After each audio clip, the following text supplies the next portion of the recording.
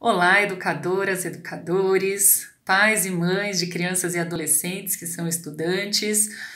A gente tem uma oportunidade imperdível de participar da jornada Mestres do Amanhã, Fazedores do Futuro, com o professor Moacir Gadotti. Nesses tempos que a gente precisa pensar, né, como a gente vai reinventar a educação, como a gente vai reinventar o mundo, nada melhor do que a gente aprofundar a reflexão com quem escreveu a história das ideias pedagógicas, com quem conhece muito bem o passado, fazendo toda a denúncia e o anúncio do que foi o passado da nossa educação, para pensar junto com a gente possibilidades de futuro.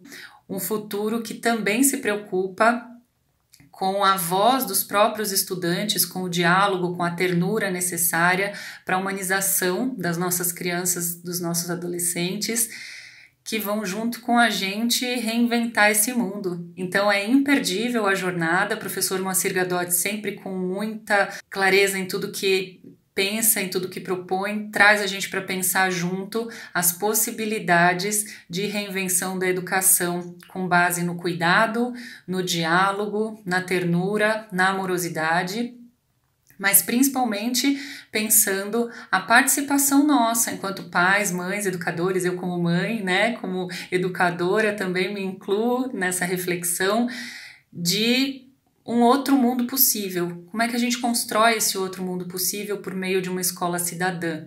Uma escola de luta que não é uma luta só de professores e educadores, é uma luta de todos nós.